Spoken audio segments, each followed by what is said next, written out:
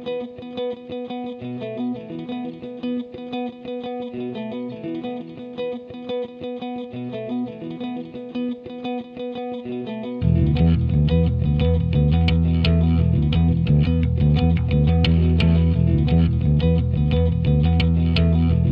here today at the Goodwood Motor Racecourse for the 10th National Greenpower Final. Greenpower is all about engineering, education and the environment and getting school teams involved in motorsport. There are two races going on here at Goodwood today. One in the morning, a one and a half hour sprint race, where the racers have to do as many laps as they possibly can on one set of batteries. In the afternoon, there's a four hour endurance race where the racers are given two set of batteries and they've got to complete as many laps as they can. Um, F34 is uh, electric car racing um, for schools all around the country. We work through lunch times, after school, weekends, holidays. This introduces um, school pupils into engineering is the main point. Um, you don't get that in everyday D&T lessons.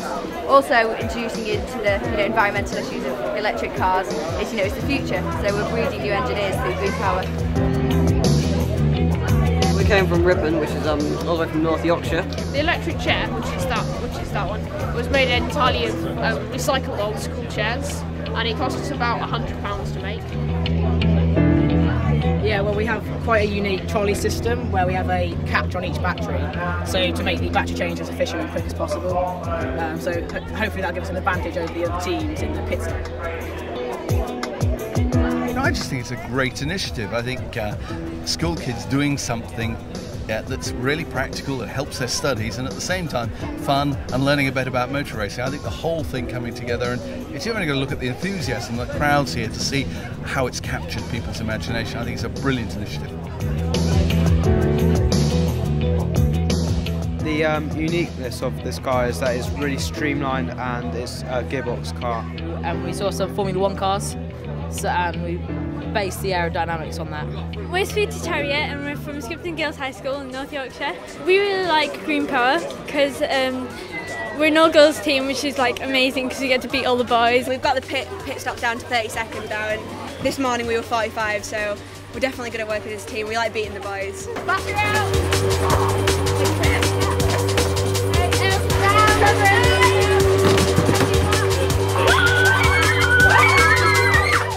been at Goodwood for 10 years now, which is fantastic, and we're very interested in the whole the whole green thing, and we're very very keen to support the schools. And um, Goodwood has a tradition with this whole whole event, so we're very very happy for it to, to carry on here and support it in every way we can. We're on the grid and the cars are lining up for the beginning of the Formula 24 four hour endurance race. In this race, there's a maximum of six drivers and they're only allowed to change the batteries once within the four hours.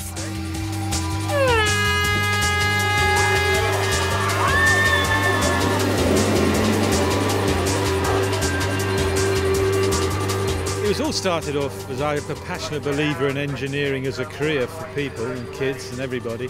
And I noticed that we had less and less in the country from talking to engineering companies. And this was my attempt to do something about it, really. Think the children benefit from taking part in a scheme like this? By seeing engineering at a young age, before you've got preconceived notions, you can make your own mind up. And because engineering doesn't have a very good press in the sense of, you know, what's on television, you don't actually see it apart from Scrapheap Challenge, I think.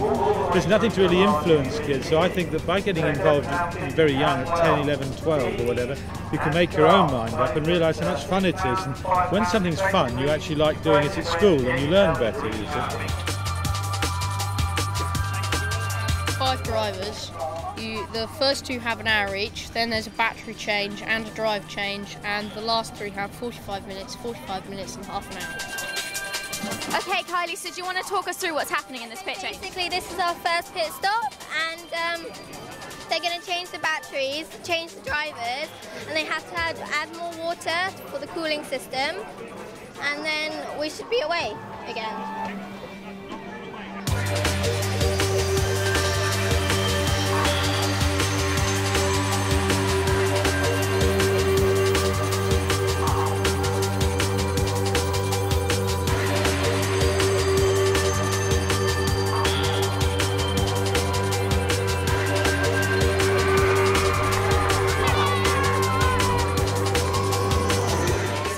Sandbach High School and they've just won the second race Formula 24 with their car Zebedee. It's nice to have our work finally paid off. We've been doing this for Yeah. six years. We've worked so hard for it and we finally got re- rewards for it. So how did you guys build this car? Um, all this car was built all in the tech technology suite in school, all by the team members. Um, all the way from welding the, the chassis ourselves to making the bodywork ourselves, all completely done by the team. And will you girls be back next year? Definitely. Excellent.